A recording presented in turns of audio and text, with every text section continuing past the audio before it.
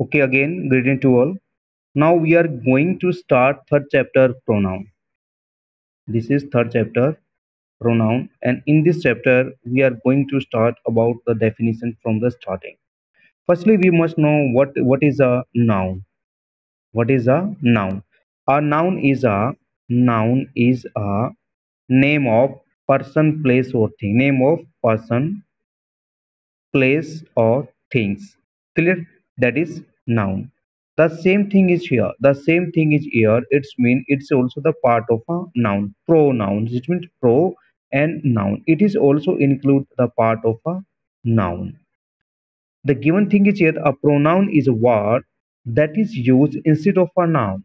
A pronoun is word that is used instead of a noun. Or we can say a pronoun is a place um, uh, pronoun is a word which is placed which is placed in place of a noun. Yeah which is used in place of a noun. That is pronoun. For example he she it etc these are pronoun. For example uh, the thing is given here.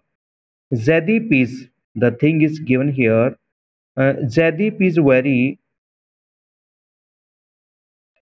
Zadip is very hardworking boy and he is good at study its name is Jadip. Jadip is a noun. Jadip is a noun, and we for the for Jadip the use word is here he. Then he is pronoun. He is good at study as well as the sport, and his brother, his brother, and both of them, any them, his, he. These are pronoun. These are pronoun. It means pronoun is word which is used instead of a noun. बार बार noun use करने की बजाय बार बार हम कहें Jaideep is a good hard Jaideep is very hard working boy. फिर कहें Jaideep is good at study. फिर हम कहें कि Jaideep brother, admit admire him. अगर बार बार जयदीप कहेंगे it is it will be odd तो अच्छा नहीं लगेगा ये। So so due to this things we use he and see Jaideep एक अच्छा लड़का है वह अच्छा है बार बार वह का ही use he he is good boy his father is good man he her or his mother is a good lady it's mean we use he his him so pronoun clear so the main thing is here next thing is here uh, the noun which is replaced by a pronoun is known the antecedent this is also the important thing what is antecedent the noun which is replace by a pronoun the noun which is replace by a pronoun is known as a antecedent यानी जो noun है, जो replace की जाती है एक pronoun के द्वारा जो प्रोनाउन जो यूज़ होगा नाउन के लिए तो दैट इज़ एंटीसीडेंट उसका जो दूसरी चीज़ यूज़ की गया पूरक के रूप में सप्लीमेंट्री के रूप में that is antecedent clear now types of pronoun the something is given here personal pronoun possessive pronoun demonstrative interrogative reflexive emphasizing or distributive pronoun reciprocal pronoun indefinite pronoun or relative pronoun. So these are the types of pronoun. Like that we are using here pronoun personal pronoun. We are using here personal pronoun. Second personal pronoun is used for the personal use. That is personal pronoun. It's mean the it's mean here the pronoun i me she. It's mean all which is given here. These are personal pronoun and these are used for the people animals or the things. So they are called personal pronoun. Clear? Second for example the these boy are so lazy. This is the same thing. It's mean uh, first example which i have given to you. So this is personal pronoun. This is person next is here the pronoun the pronoun mine और her its their your this is second possessive pronoun it's mean which so the process we can say which so possession possession mean अधिकार. जैसे माए your his जैसे वो अधिकार को show करता है. अधिकार को शो करता है. तो दैट इज़ क्या होगा? possess, possessive that is is pronoun इसमें जैसे आ गया माइन और his her theirs yours these are possessive pronouns clear next we are doing here Jaisari has a small zoo in her house तो her is here possessive pronoun that car is hers it is also possessive pronoun So the decision is your. Your is also possessive pronoun. So these are examples of possessive pronouns. Now we are going to discuss here about uh, the personal or the possessive pronoun. जो है personal और possessive pronoun. I'm taller. I'm taller than he is. इसमें he भी कर सकते हैं she भी कर सकते हैं Next, he is as lazy as that brother of him. He is as lazy as that the brother of, इसमें कर सकते हैं ब्रदर ऑफ़ हिज हिज भी वो इतना ही जो है लेजी है जितना उसका भाई। तो हिज भी हम इसमें यूज़ कर सकते हैं। Next they are far better player than इसमें मी भी कर सकते हो। Then me they are far better player than me इसमें देन भी कर सकते हो आप, क्योंकि इसके अकॉर्डिंग कुछ भी कर सकते हैं।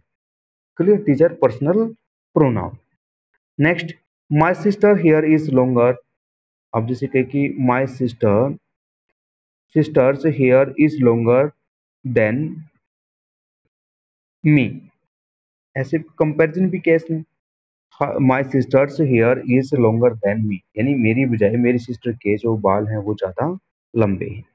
Next I am sure that no will help you but am sure that nobody will help you but इसमें कर सकते हो बट आई लेकिन मैं तुम्हारी सहायता करूँगा। इसकी जगह पे बट ही भी कर सकते हो बट ही लेकिन वह वह मतलब तुम्हारी हेल्प तो I will be better okay I am sure nobody will help you but I उसने कहा कि कोई तुम्हारी हेल्प नहीं करेगा, लेकिन मैं करूँगा बट आई या but he you can say next she knows the, uh, her responsibility as well as she know her responsibility as well as mine. ये कर सकते हैं आप उसमें सी नोज़ हर रिस्पॉन्सिबिलिटी वो अपनी रिस्पॉन्सिबिलिटी को जानती है इसके साथ साथ माइन मेरी भी। माइन करेंगे mine that as well as mine.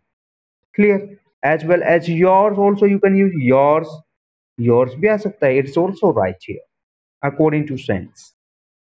Next. My father my father is furious with dress with me. My father is furious with me or i have lost favorite book of him.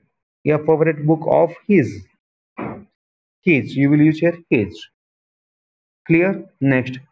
Who did this my mother asked. Who did? Who did this my mother asked. Then what is given here? What is given here? It means uh, who did this my mother asked. It was it was me. Because it was me. But the idea was your. ऐसे कर सकते Arya was your replied Akash. Rita is very happy the easy that won the competition is the Rita is very happy the easy the S that won the competition is your या फिर यो हर भी करती is her. और फिर आयुष्मा के, और सी is आगे लगा सकते हो it is a wonderful piece of writing it लगा सकते हो it is a wonderful piece of writing clear next tenth mister Rathore is a nominee for the election between you and me you and me और आगे he is a truly deserving candidate कह सकते हो he is a truly deserving candidate so students these are the blanks which we have filled here. Next. Look at these sentences. This is my book and those are rajiv's pen. The pronoun that are used to point out the object which they refer to are here called the demonstrative object uh, pronoun. So this pronoun is a demonstrative. Demonstrative means pointing out, which is pointing out, which is pointing out a things जो किसी चीज़ को point out करे, जिसके बारे में वो बताता है that is demonstrative pronoun that is demonstrative pronouns it's mean the pronoun that are use you can use also this definition pronoun that are use to point out the object which they refer to और called demonstrative pronoun clear so this is demonstrative pronoun what is given here here we use this uh, these to indicate the object that are nearby which uh, while that and the those are the use for the object that are the far for the near for near for near we use this or this or these ये यहाँ पे कह रहा है कि this और this for near और जो दूर है फार फार मीन दूर जो दूर है उनके लिए यूज़ करेंगे हम दोज उनके लिए करेंगे दोज ठीक है, और दैट जो दूर उनके लिए दोज और दैट जो नज़दीक दिस और these this for singular okay और these for plural those for plural that for singular clear, students? So, this is the way of doing the pronouns the next part we will do tomorrow okay